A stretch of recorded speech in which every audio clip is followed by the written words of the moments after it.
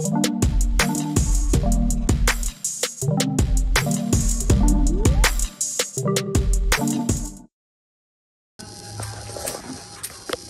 out here on a job today in Ashbury. Um, basically NBN won't do the lead-in cable because it's on a steel private pole. So basically um, it's their OH&S issues, they don't climb them. So what we do is we'll put a, uh, a pole hook and stuff on it. And then we'll string that over to their pole over here.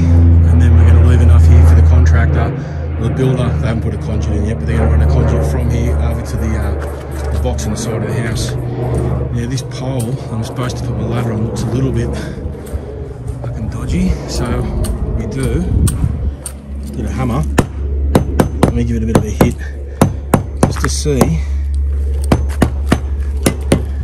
how, so it still seems relatively uh, solid yeah, it's pretty solid. It's not fucking jiggling around too much. It looks pretty bad.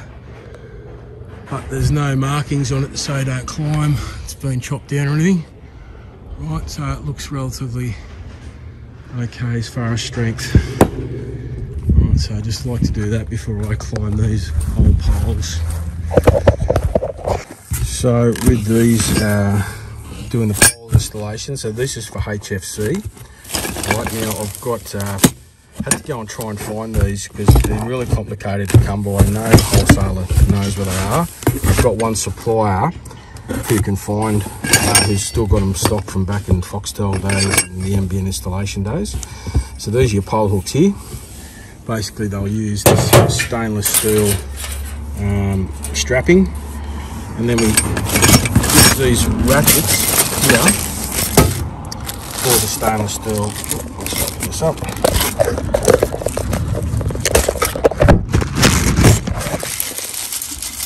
go. So we use these things here to put the strapping through. As you can see on the hooks, they've got the uh, holes there where the strapping goes through. And then you've got your sashes, which goes on the end of the cable. And then you've got the here, which go through the, uh, the sashes to um, put onto the end of the hooks. Alright, so this is what we're going to have to do today. So I made sure I grabbed a bunch of them because when I was trying to find these from the wholesalers, nobody could find them. So I wrote all the part numbers down and everything. So it took me like three days to try and get these. I finally got them and the cable as well because it's hard to find now. So managed to get my hands on some uh, the HFC cable as well, the aerial because we've run out. Been had a few of these and I had a massive stock of these but I'm out of everything so I had to re restock the whole uh, restock the van so I found the old uh, how to fit these uh, these guys here right so it sort of shows you here I'll show you with the um, actually how it's done but this is the instructions it's one I've had sitting in the truck here for ages so this is what we've got so I went over to the pole and then I've chopped off the length that I need. Right, so there's a little bit of slack on it, which I'll chop off with my uh, trusty tin snips once that's done. So I'll assemble this first and then we'll put the hook on the pole. Um, and it's got to be 600 below the power. So I'll get a tape measure, I'll go up the pole now and I'll make a little mark where 600 below the power is.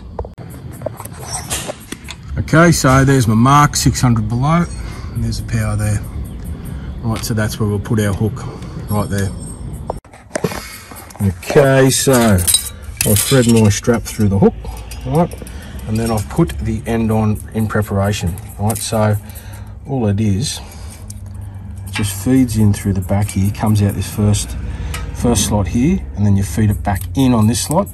Now I like just as an added precaution I just like to bend that around. And then this part here actually goes on the pole and this, this part sits outside. Right and then you've got your ratchet here where you just stick a screwdriver in and then just ratchet it up. All right so I like to get all that prepared before I actually go the pole so it makes life pretty easy. So let's go put it on right, so I've done that now and ratchet that up, so that's really tight here now. So you want to do it as tight as you can, and you want the hook to face towards the pole. Now, as you can see, there's a bunch of uh, trees and stuff here. I'm going to try and break some of these down, um, so I've got a clear path to the pole we're going to. Right, so I've got my new cable drum and the cable roller. There we go. So let's find the end of this sucker.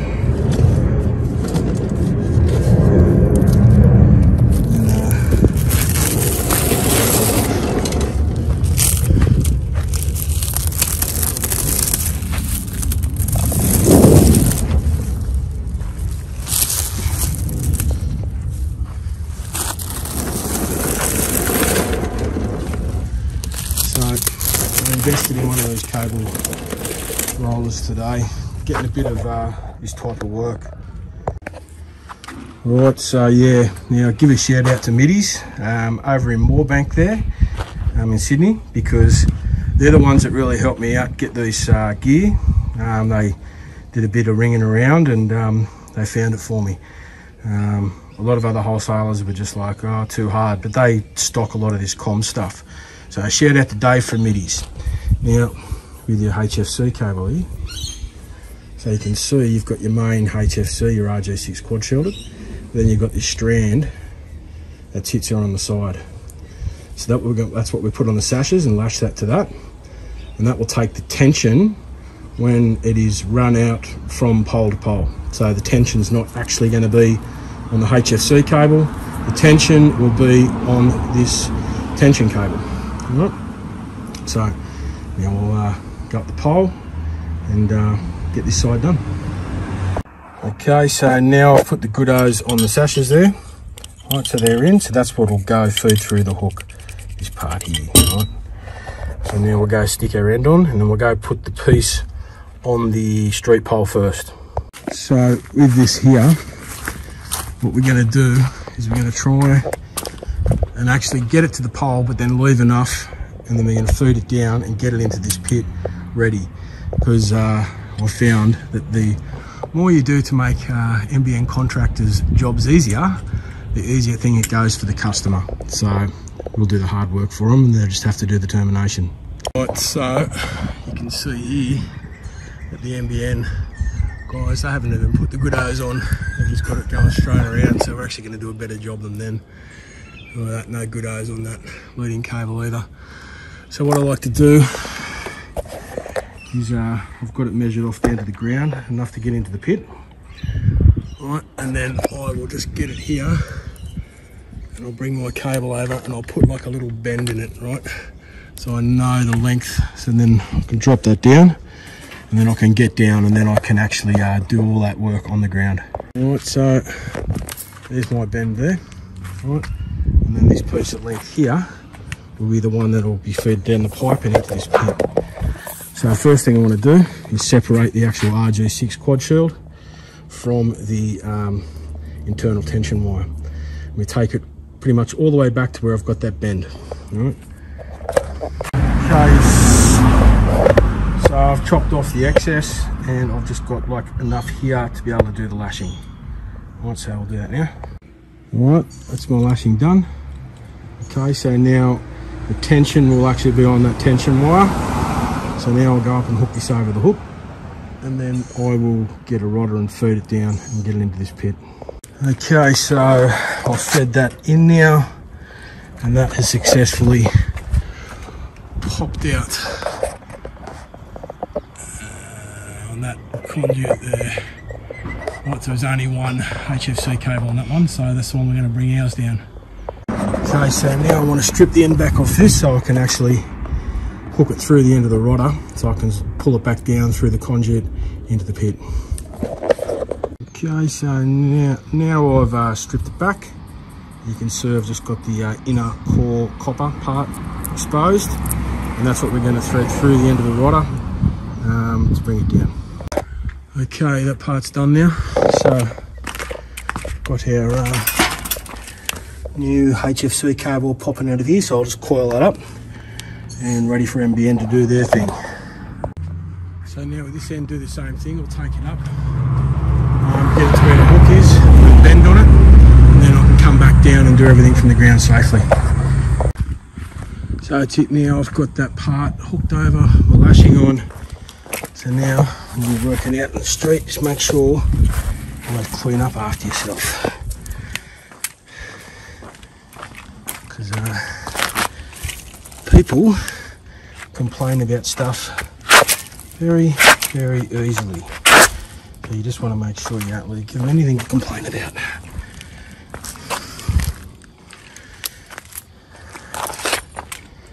Right, so clean work area. Let's throw that crap in the bin, except for the except for the sashing, obviously. So then on this end, what I've done is I've got my bend. So there's my bend there.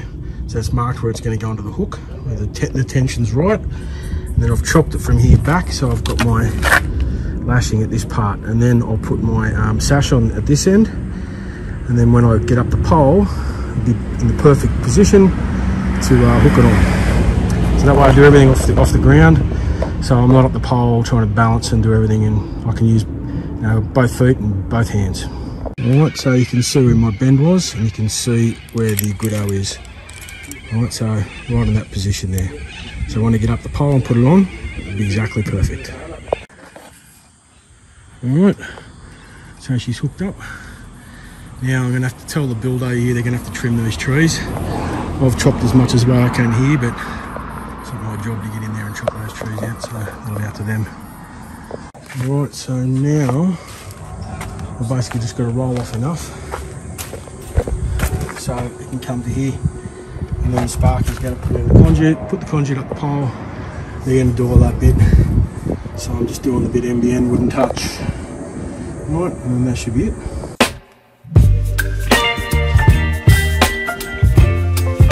Hey guys, it's uh, Jason here from Secure A Com. So if you're in need of some internet help, um, whether that is uh, getting a fault fixed up like a bridge tap or you have some sort of an issue on your NBN service, or maybe you need to have some new cabling and sockets installed, um, we provide a range of services to help you out. There'll be some links underneath this video um, and you can click on those links and I'll take you through to our website where you can book my service. All right, thank you very much. Goodbye.